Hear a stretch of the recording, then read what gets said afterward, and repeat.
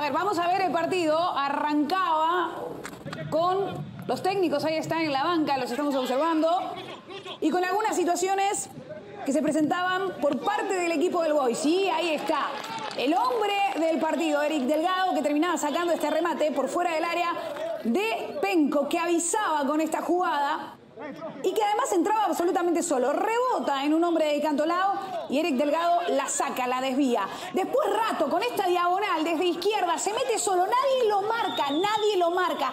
Y después aparece Penco al vacío y termina metiendo el primero para Cantolao. Falló toda, el primero para Boy, falló toda la defensa de Cantolao. Primero nadie siguiendo a Rato. Segundo, lo dejan colgado a Penco, esquiva la marca, gana espalda, gana todo.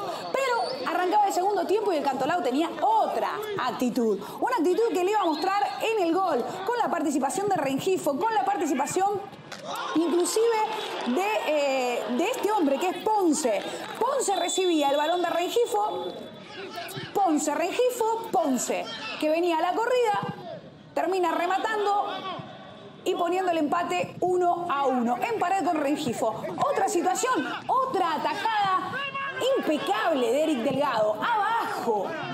una pelota súper difícil, muy bien de reflejos Eric Delgado, la toca y termina salvando nuevamente a Cantolao, que aún teniendo un hombre menos iba a tener una exquisitez más. Por sector derecho, Rengifo pase atrás, venía solo Celi, plum, clean caja, anota Cantolao.